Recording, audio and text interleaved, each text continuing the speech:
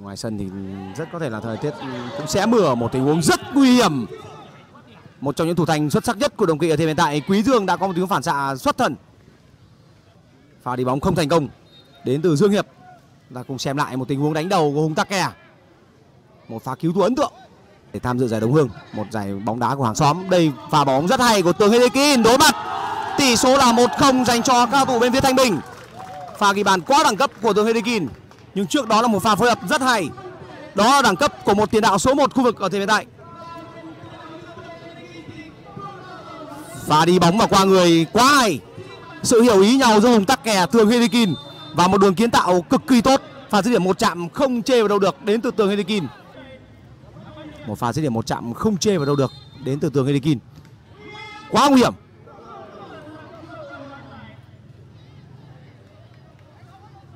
Một tình huống cố định khá nguy hiểm mà An Giải tạo ra. Lộn xộn chứ không thành. Suýt chút nữa thì cao thủ An Giải đã có thể cơ hội dứt điểm. Một quyết định dứt điểm thẳng đến từ tường Hedekin vẫn là một trong những tiền đạo xuất sắc nhất của bóng đá đồng kỵ ở thế giới tại Quý Dương đang nằm trên sân với một vẻ mặt rất đau đớn. Nếu như Quý Dương không thể thiếu được thì đây sẽ là một mất mát quá lớn đến từ cao thủ An Giải. Quý Dương đang là thủ thành chính của đội bóng đồng kỵ. Quá đáng cay. Quý Dương đang tỏ ra vô cùng đau đớn. Những tình huống tiếp đất như vậy rất có thể sẽ dẫn tới những chấn thương dây chẳng đúng là như vậy. Đội hình của Thanh Bình đang có một cự ly tốt. Rất nguy hiểm. Vâng, và, và như vậy là bàn thắng đã đến với các thủ An Giải. Một mình thôi. Dương Hiệp là người đã ghi bàn thắng dành cho các thủ An Giải để ờ, đưa trận đấu về xuất phát. Một tình huống truyền bóng dài, bóng sượt đầu. May mắn đã đứng về với Thanh Bình ở dứt điểm đầu tiên. Còn thứ thứ hai thì không thể trách. Một đường truyền xa của Văn Lợi. Vẫn là vào vị trí của cái hùng tắc kia à, không được. Khán giả đang có mặt trên sân vận động Nam Hồng rất đông. Và vừa rồi họ vừa ồ lên cho pha dứt điểm đến từ hùng tắc kè một pha dứt điểm ra ngoài rất đáng tiếc rất đáng tiếc dành cho các cầu thủ bên phía Thanh Bình những tình huống ra vào hợp lý của thủ thành này chắc chắn sẽ là nền tảng để giúp cho các cầu thủ An Giải tự tin khi phải đối đầu với một hàng tiền đạo sức mạnh và rất xuất sắc. An Giải đang thi đấu thật sự là rất thăng hoa. Tình huống dứt điểm vừa rồi đến từ Văn Cường, Hứa Văn Cường. Trong bóng đá thì không phải cứ thắng, cứ mạnh là sẽ có 3 điểm. Rất nguy hiểm. Bóng lại tìm tới xa ngang.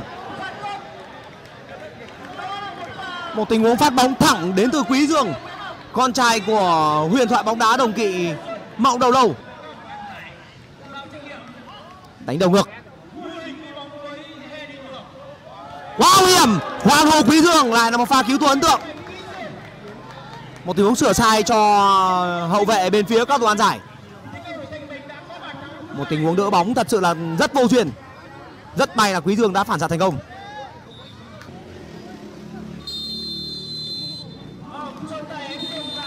và Ánh Dương đã nổi còi kết thúc hiệp đấu đầu tiên.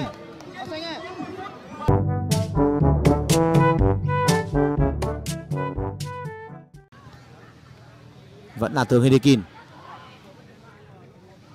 Tường Hedekin rất hay. Và tỷ số là 2-1 dành cho Thanh Bình. Đá không cần hay nhưng luôn may.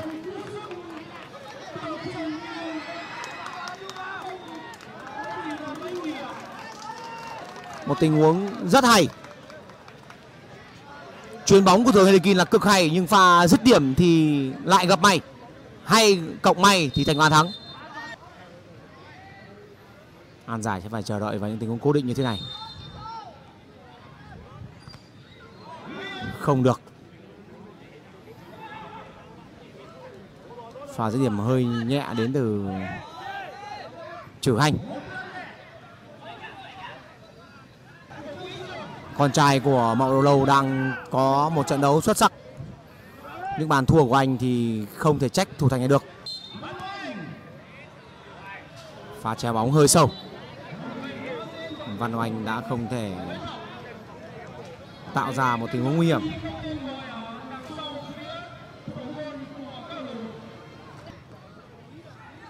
Pha phạm lỗi nguy hiểm rồi. Trọng tài anh Dương ngày hôm nay đang có vẻ như có những quyết định chưa thật sự là dứt khoát. Thông tắc ke à. chờ đợi điều gì đây? Chiếc thẻ vàng. Một tình huống phạm lỗi bên ngoài vòng cấm một pha phản công rất nhanh đến từ các cầu thủ. Đúng là bóng ở ngoài vòng cấm.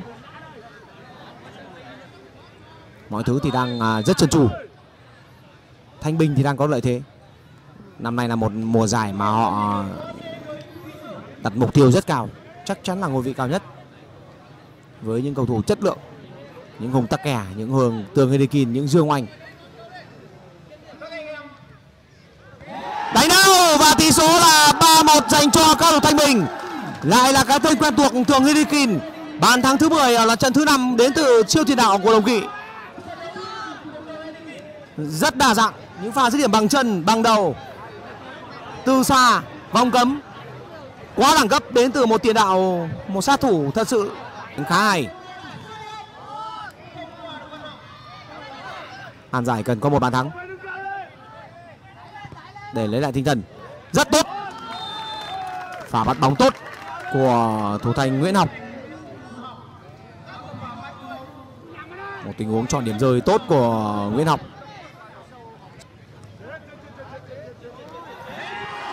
Lại là một pha dứt điểm một chạm quen thuộc đến từ tường Hedekin một trong những tiền đạo có khả năng hoạt động độc lập quá tốt của đồng kỵ ở thời hiện tại. Đây là Nguyễn Lịch. Càng An vẫn không vào. Nguyễn Học đã cứu thua ở pha dứt điểm góc hẹp đến từ các thủ An giải. Lại một pha phản công nữa đến từ Thanh Bình.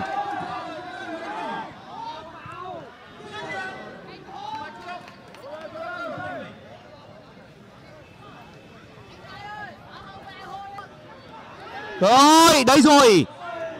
Vẫn không thể dứt điểm. Khi mà cơ hội trôi qua thì họ phải đối mặt với một thứ phản công của cao thủ bên phía Thanh Bình. Tường Hedekin tất nhiên là bàn thắng thứ tư của Tường Thanh Bình rồi. Cú lúc cú hat trick của Tường Hedekin Quá đẳng cấp đến từ một sát thủ số 1 của phường Đồng Kỵ và số 1 của bóng đá khu vực.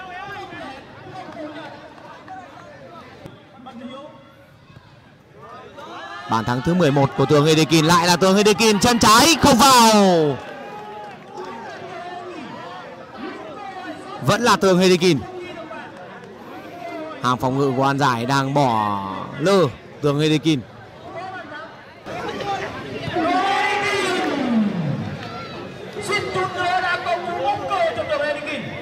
ở trận đấu ngày hôm nay, những cây trọng tài chưa đã đòi hỏi kết thúc 80 phút thi đấu hai hiệp chính các đội thanh bình đã chiến thắng các đội tỷ số 4-1